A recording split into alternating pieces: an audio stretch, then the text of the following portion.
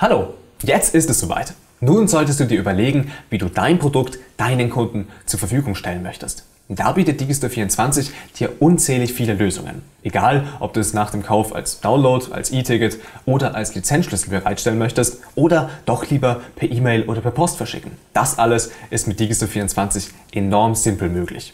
Du kannst andere Software wie zum Beispiel CodeJournal, ActiveCampaign oder Kajabi per IPN-Anbindung anbinden oder auch selbst per API deine eigene Software mit Digistore24 verknüpfen.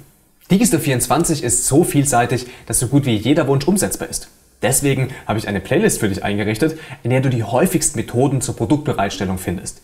Wirf also einen Blick hier rein und schau einfach mal nach, welche Option deinen Wünschen am ehesten entspricht. Und fehlt dir etwas Bestimmtes, schreib es einfach als Kommentar unter dieses Video.